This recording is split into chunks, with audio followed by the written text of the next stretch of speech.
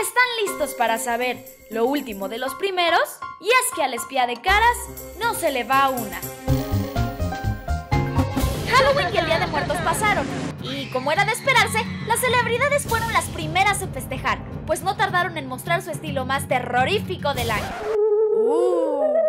Tal es el caso de Kelly Osbourne, quien se disfrazó de Magenta de The Rocky Horror Picture Show. ¡Wow!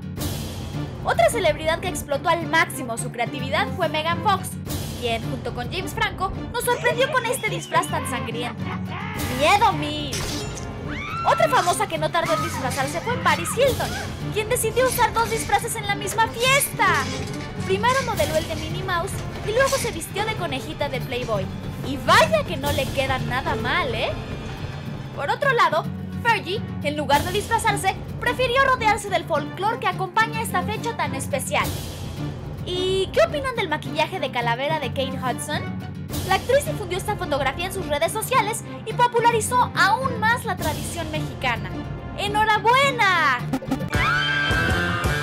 Sí, es cierto que no hay nada mejor que disfrutar estas fiestas con los seres queridos, por lo que muchas celebridades no tardaron en presumir a sus bebés disfrazados. ¡Ah! Definitivamente nos robó el corazón fue el bebé de Shakira al lucir este diminuto y tierno disfraz de policía. ¿Y qué opinan de los hijos de Mariah Carey disfrazados de superhéroes? Finalmente, Sandra Bullock y su hijo nos enseñaron que para la diversión no hay edad, pues ambos se disfrazaron de personajes de la película de Toy Story para ir a pedir dulces. Ella de Jessie y él de Buzz Lightyear. ¡Bien ahí! ¡Oh, oh! Todas las ideas de las celebridades son buenas, pues en algunas ocasiones su pésima creatividad ha terminado en las primeras planas. ¿Recuerdan cuando el príncipe Harry se disfrazó de nazi? Luego de ser sumamente criticado, el entonces adolescente se disculpó y aceptó que su disfraz no había sido nada inteligente. Menos mal.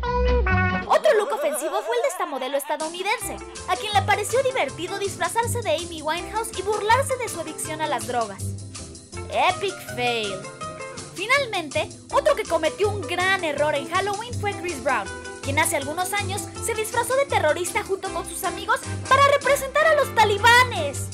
Ahora sí se pasaron. Mejor quédense en su casa y no hagan el ridículo. Hemos dicho. Mira cómo baila el esqueleto. Hola, Ángela. ¿Recuerdas alguna cosa de lo que pasó? ¿Dónde estoy? Y para los amantes del cine de terror, les dejamos las películas que buscarán causarles pesadillas de aquí hasta que termine el año.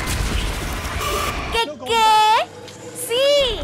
Una de ellas es Retornados, cuyo drama se vuelve escalofriante cuando la vacuna contra el virus del zombie deja de existir.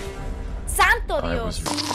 Otra cinta que se estrenará durante los primeros días de noviembre es Donde se esconde el diablo, la cual ubica al espectador en un pueblo cuyos habitantes sospechan de la llegada de la hija del diablo de una serie de asesinatos en la comunidad.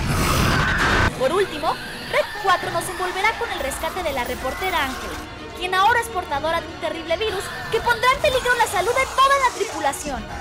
¡Ah! ¡Qué miedo! ¿No creen? Llegamos al final. No olviden seguirnos a través de nuestro portal caras.com.mx y de nuestras redes sociales. Pórtense bien y si se portan mal, tengan cuidado, porque la espía de caras está en todo.